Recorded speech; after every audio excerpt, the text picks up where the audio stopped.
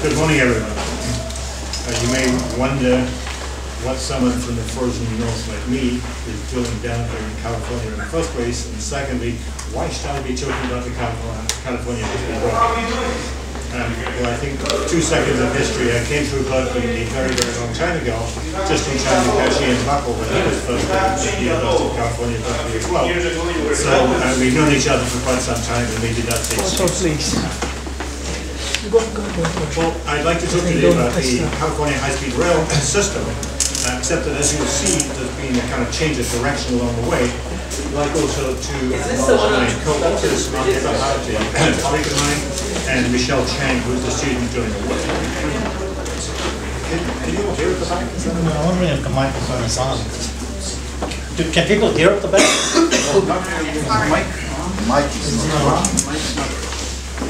Maybe without the mic. Just don't touch the tripod, please. This thing is not steady. Okay, I'll just talk a bit about it. I'll do Internal mic here. Um, Well, to to start with, the the Cal- California high-speed rail system uh, looks fairly exotic from the outside, and on the surface of it, it looks for a wonderful opportunity to do some performance-based uh, earthquake engineering. We've got some very stringent uh, operational requirements and expectations. Uh, There's a pretty heavy seismic hazard along at least part of the route.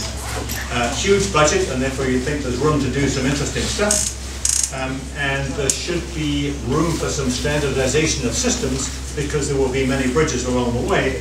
And of course, uh, enthusiastic partner to get things right, the High Speed Rail Authority. Um, We also had a project with the FIU, the Florida International University ABC Center, and ABC, for those of you not know, is accelerated bridge construction, uh, because they were interested in applying ABC systems to the high-speed rail uh, system. And so we had a little bit of money from them, and we were trying to look at some of the prefabrication possibilities uh, and various different things associated with that. Now, one of the things that we found fairly quickly when we got into it uh, was that on the superstructure, there are some fairly limited possibilities of what you can do. And most of the reason is there are very, very stringent deflection and vibration limits. And what we see here is, uh, on the vertical axis, is the L to D ratio. If we turned up the other way, that would be a deflection divided by the span length. So highway bridges are typically running about one in eight hundred is a typical vertical deflection limit for under live load. And one in eight hundred is pretty tough compared to what you get in buildings. In the high-speed rail, they're looking at about one in three thousand. So they're about four times more stringent than a typical highway bridge. So what that means is you need a very, very stiff superstructure. And we're referring here to static deflections. This reflects over into dynamic deflections in terms of vibration as well. But the bottom line is you need a super stiff superstructure. So where that takes you is that you need um, a span to depth ratio, which is what you see the L to H. Distinguish here between a span of a depth and a deflection of a span. The deflection of a span we just looked at is one in a thousand, uh, one in three thousand rather. And you get that by having a very deep superstructure compared to a span. And this is a plot uh, showing what you would need if you have a fairly typical box girder for different spans. And it turns out on these different spans, you're looking at, for simple spans, something on the order of, of 10, 11, 12 to 1 span of depth. That's a very deep girder compared to typical highway girders. Typical highway girders, you're looking at maybe 20, 25 to 1, that kind of ratio. And so they are a lot more skinny than these guys. Put another way, these guys are going to be very deep, very big, and very heavy. So what this really means is the superstructures are going to be controlled by the, the service load criteria, which dictate these very deep girders. That in turn means that a very deep girder is very heavy. And if it's very heavy, it's going to be very difficult to truck it to the site that you need if you want to precast it. And therefore, precasting using conventional ideas of precasting in a precast producer's shop is going to be almost impossible, partly because in the, in the producer's fabrication plant, they'd have difficulty handling something that heavy. And then if you get something which weighs something on the order of three or four hundred thousand pounds on the road, then you can't take it anywhere, it's too heavy. You break all the bridges that you drive. So what that really means is, that you're looking at a couple of different techniques, either cast in place, which you can deal with from a weight point of view, or you're looking at something called full span precasting, which has been done fairly extensively in China. And this we should take note of because the Chinese have built something like 3,000 kilometers of uh, high-speed rail, whereas no one else has built anywhere near that amount. Have Japan, they go in France, in Germany, uh, Spain, they all have relatively small amounts. But the Chinese are ahead by a factor of something like 10 in terms of what they've built. A lot of what they've built has been using this full span precasting, which means that you precast whole spans, you build a giant erection gantry and you take them along with that, and then you can pop spans in one every 20 minutes or something, one after the other. It's amazing how quickly you can do it. Um, however, that requires a very large amount of capital, a lot of planning. You've got to make sure that all of your spans are going to be sufficiently similar that your erection equipment can work it, and therefore um, this does require a lot of planning, a lot of centralization, and a lot of capital in the first place. And so what, what happened in California was that they decided to go with a relatively large number of design-build contracts. And so the contracting method has meant that the, the High-Speed Rail Authority, they go out and they ask for bids on a certain section of the line, and a joint venture will be put together, contractor and designer. They will say, I will design and build this section of the, of a route for you, and I will charge you 20 million, whatever, whatever the number is. Uh, however, the problem is that if they only get five or maybe even 10 miles of rail, then that contains far too few bridges to make it worthwhile to set up a full span precasting yard and to build all of the fancy and very expensive erection equipment to do it. And therefore, none of these, if you like, high-level methods which have been used in China, none of those are really going to be possible from an economic point of view. The, the economics simply are not there. And so this is some, this is one of the difficulties. You get a little repetition, and therefore each of the contractors to be somewhat different. And then on top of that, uh, the governor has decided that he did not want to go through and uh, pay for the whole thing, and therefore the high-speed rail has been massively curtailed. So in terms of our project, that kind of derailed us a little bit and said, you know, it, does it really make sense to go on and pursue doing some of the things we originally looked at, which really could not deal with the superstructure, they would have to deal with the substructure because the superstructures are pretty much predetermined. And so what we did was to say, well, if we look at the substructures, can we find some feature of them which is going to be consistent also with what is done in the highway business and do something which is useful there. This, of course, will still be useful if they do start up the high-speed rail again. So the questions really are, um, can we look at these drill shafts and the connection between a drill, drill shaft and the column which goes up to hold the superstructure because these are pretty widely used in both highway construction and they will be used if the California high-speed rail uh, takes on its, its uh, full head of steam again. Uh, this fortunately uh, will connect with some of the other projects within PEER, and fortunately it will connect with other work that we have done in the past. And let me just try and pull you into the world of drill shafts. There's a thing, there's a type 1 and a type 2 drill shaft, which tells you nothing whatsoever about what they are. Type 1, though, is a drill shaft where you drill a pile into the ground, and you cast the pile, and then you take the column up with the same diameter as the shaft. And those have been the traditional way of doing it, and on the surface of it, that is very sensible. Uh, type 2 shafts are bigger than the column, and typically you have about, in feet, uh, about a two foot additional diameter on the shaft compared to what you've got on the column, or maybe a little bit more than that. So you're on an eight foot diameter column, you'd have a 10 foot shaft, would be fairly typical. And there are a couple of reasons for doing that. Uh, one is, if the shaft is bigger than the column, then that means that the shaft is presumably stronger than the column.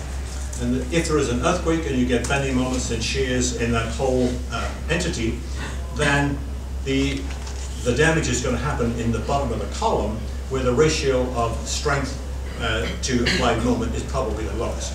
That's a good thing because then you can see it, you can inspect it, and conceivably repair it. If you've got to dig down 20 feet underground to even inspect it, let alone repair it, that becomes a much more major operation. So they're good for that.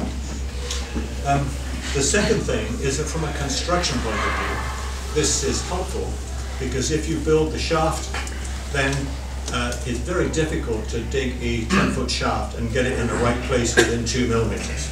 That's a huge job for a drilling company. Uh, you can usually do it within something like three inches either way, um, but closer than that, no. If you need your column to be in exactly the right place, and this is particularly true if you're using precast cap beams or cross beams, they have to fit. Um, and therefore it's important to have the columns in exactly the right place. And therefore you need high accuracy. You build the shaft up to nearly up to grade, then you put the column in, you can move the column around a little bit and then position that very precisely before you do the final pull. And I'll show you right now uh, typically how you build these things. You first of all find some earth, uh, then you dig a hole to put your, your shaft in. You drop a cage in for the shaft. Uh, you then put some concrete in up to some level which is maybe one or two column diameters below grade, something like that. And this next bit is called the transition region. Uh, you then come and put your column cage in, and the beauty of this is that you can move the column cage around a little bit to get its position very precisely wherever you want it.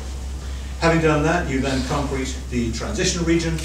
Uh, you then come along and you can, you can pull the column and then come in, put a cap beam or a cross beam in and whatever, and you're off and, off and running. Now, one of the things that you find with these Type 2 shafts is that in the shaft, the bending moment is controlled by conditions a little bit below grade. I'm trying not to trip over the wires here. Uh, but this is a notional uh, bent that you have with the shaft going down here. This is not actually shown in the Type 2 because I stole it from another presentation. Uh, but this picture here shows you the bending moments and we've got fixity up the top here, so we've got a bending moment which is measured off in that direction, and in the vertical direction here we're measuring verti vertical height of the column. So at the top you have the fixed moment here between column and, uh, and cap beam. You come down and you've got a moment down here at grade, but the moment gets bigger in the shaft as you go down here. And the peak moment is somewhere down here, one or two column diameters below grade. If that's true, you have to design the reinforcement in the shaft to deal with that moment. So by the time you get up to grade here, which is the connection with your column, then the shaft will actually be somewhat stronger than it needs to be. And you have a little bit more reinforcement there uh, than you might otherwise have thought that you needed. So what that means then is that at that connection, the bond with the shaft bars is not too big a problem because you've got more shaft bars or bigger shaft bars than you really need there. So that part of the bond is probably not a big problem and the bond is probably going to be critical, if anywhere, in the column bars. So that part of the story then takes you over and says, um, in these type 2 shafts, you have a particular condition which is called a non-contact splice, which simply means you're splicing one bar here and the other one is not tied up against it, but it's over here someplace. Maybe distant. If you've got a 10 foot column, sorry, got an 8 foot column and a 10 foot shaft, then in some sense they're about one, about a foot apart from each other. And a non-contact splice uh, traditionally has been seen as needing to have some a significant amount of horizontal reinforcement here, tie reinforcement, because you get, if you draw a strut and tie model with the red struts and the green ties, Washington we build peculiar bridges, uh, one class of which is called floating bridges, and they do exhibit a nice test bed for engineers who want to look at them, because when I went to the University of Washington a long time ago, there were four floating bridges in the world, and we had three of them. And the other one was in Norway. Uh, they built another one since then. But if you think about statistics, and you like to think that structures fail at the rate of, shall we say, a probability of 10 to the minus 6 per year or something, since I've been there, uh, two out of the three original floating bridges have sunk. And so a failure of 67%, the failure rate, is probably not what the statisticians really like to dream about. Uh, but on the new, one of the parts of the new floating bridge, they're building this type of structure. And the engineers who are designing the shafts have decided that there's, normally they put a casing, a steel casing around the top of the shaft while they're building it to keep the, the, the, the momentum from falling in. And what they've decided they want to do is to cut off the casing in the top three feet of the shaft. So what they would be doing is removing the wonderful steel spiral that you've got there, because this is like a one inch thick steel tube going around it, and they want to cut it off for appearance sake. And I've been trying to argue with them and say, no, this, this is exactly where the forces are the biggest, and you are removing steel in exactly the place where you want it, uh, but so far we have not come to an agreement. But my point is that this kind of thing, I believe, is important because in terms of performance-based engineering, if you do have serious damage in the top of the shaft, uh, because you have a, a, a failure of the spiral legs is not strong enough, because you did not take advantage or you did not recognize this non-linear distribution of force, then it could have serious damage consequences. And it appears from previous research that what you really need to do is to stack these spiral reinforcement heavily near the top, and you can afford to taper it as you go down. And this indeed, if you can succeed in doing that, that would mean that you could avoid yielding the top reinforcement, and therefore you could cut down the amount of damage that would happen extensively near the top. So what we're, what we're hoping to do, and we are just starting the project, is to take a closer look at the, the load transfer mechanism in these non-contact splices. We would like to look at both a traditional cast, traditional casted brace approach, but there's also an approach whereby you can put not just a reinforcing cage on the top, but you could put a whole precast column in the top, and that would speed up the construction a lot. And this is really a reflection of the ABC thinking that was coming in at the beginning of the project.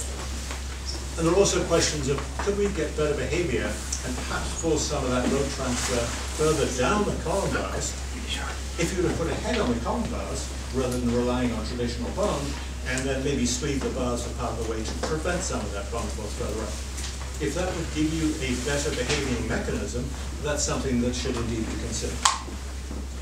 So where we are now is uh, we are planning to conduct some tests on this. We're now doing a preliminary analyses in order to design those tests. And most of what we're doing is uh, looking at some of the bond characteristics and trying to, trying to find out, can we really explain how this non-uniform uh, distribution of bond is happening up and down the bars? And we're doing some bond modeling, and this is the last slide, so I think I've saved for time. Um, we are doing some bond modeling up and down the bars, and some of them have got heads on them, and this is just an example. And what we're looking at here is over the length of the bar, if you have this much slip, then this is the axial stress in the bar at the different places. Big stress at the front end going down to nothing at the end. And here is the bond stress, which according to these models, uh, looks like it's much higher in the front end, and that's indeed why you get the big bond transfer up there. One of the intriguing things is we ran some, some analyses with a head on the bar and with no head on the bar. And the red one here is the headed one, and the, the blue one here is the, I'm sorry, it's the other way around, these two are wrong. And the stress in the bar here goes down, and you have a little bit of stress in the headed bar, and then no stress obviously in the non-headed bar here. But the headed bar makes almost no difference. The head on the end uh, basically plays no role uh, in, this is a 60 inch bar, this is a number 18 bar, and so 60 inches is not that long for a number 30, 30 bar diameter for a number 18 bar. So what it's telling you is that if you have a head on the bar and you have the bond all the way up here, the head does almost nothing. So if you really want to force some of the load transfer down here by using a head, you're going to have to sleeve the bar. I'm not sure that's necessarily the right solution, but it's certainly one uh, which could, could be considered. So just in terms of planning, uh, we're in the kind of planning process now, and in the spring quarter, uh, in uh, April through June, we're hoping to actually get building specimens, and then hoping to test some during the summer. So I think we're just about on time. Thank you very much. I appreciate you.